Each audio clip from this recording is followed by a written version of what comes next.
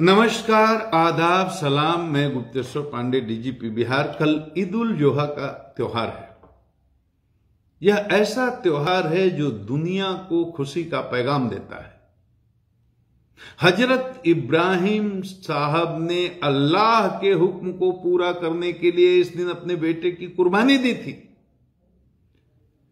जिस वक्त उन्होंने अपने बेटे की गर्दन पर छुरी रखा और बेटे की कुर्बानी देनी चाहिए। अल्लाह ने अपने फरिश्तों के ज़रिए जन्नत से लाकर बेटे की जगह एक दुम्बा रख दिया। छुरी चली। लेकिन हज़रत इब्राहिम साहब के बेटे की गर्दन पर नहीं चली। वो दुम्बे की गर्दन पर चली और दुम्बे की गर्दन अलग हो गई।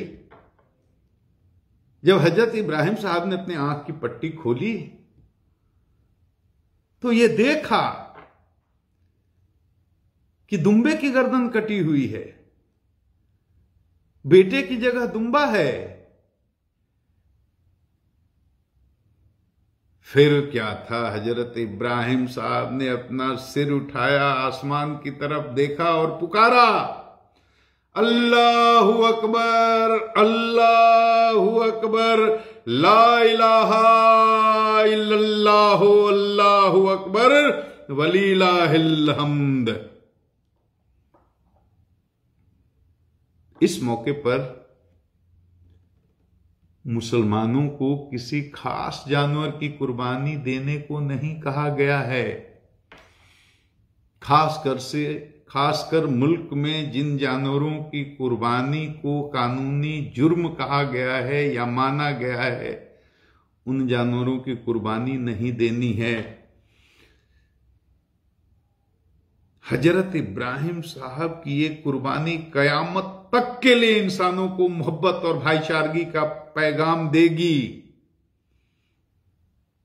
हमें कोशिश ये करनी है कि हर हालत में कौमी एकजहती बरकरार रहे। हम कोई ऐसा काम नहीं करें जिससे कौमी एकजहती को खतरा हो, आपसी भाईचारगी को खतरा हो, कहीं भी तनाव पैदा हो।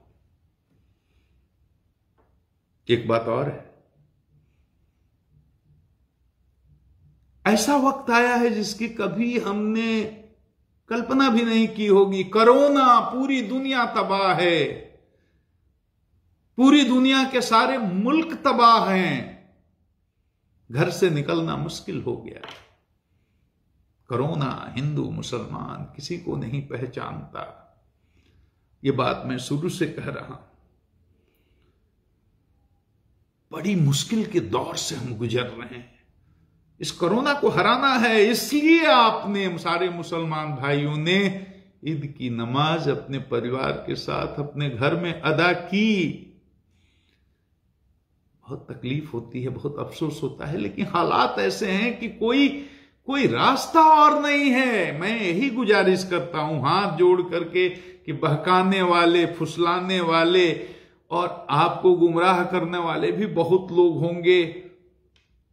वो अज्ञानता में करते हैं, लेकिन मेरी गुजारिश है मुल्क के, वतन के कानून का पालन करना ज़रूरी है। ईद उल जुहा की नमाज़ भी अपने परिवार के साथ, अपने घर में अदा करनी है। देखा अपने सावन के महीने में करोड़ों लोग, हिंदू भाई, मंदिर में, शिव मंदिर में जलाभिषेक करने के लिए निकलते नहीं निकले।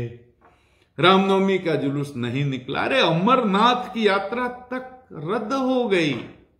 हालात ऐसे हैं।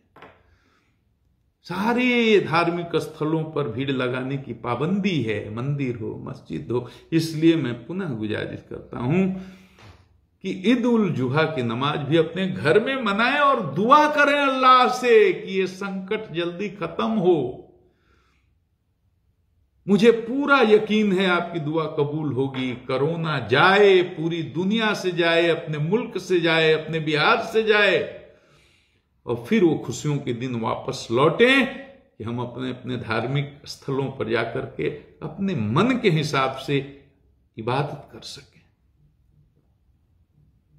बहुत संयम और बहुत धैर्य के साथ काम लेना है। मैं हमेशा हिंदू, मुसलमान, सिख, ईसाई, हर जात, हर मज़हब के तमाम भाइयों की भावनाओं का सेंटिमेंट का ख्याल रखता हूँ और उनकी हिफाजत के लिए हमेशा 24 घंटे खड़ा रखता हूँ। अपने आप को। मेरी बात मानिएगा ना? आप सबों को बहुत बहुत बधाई ईद उल की।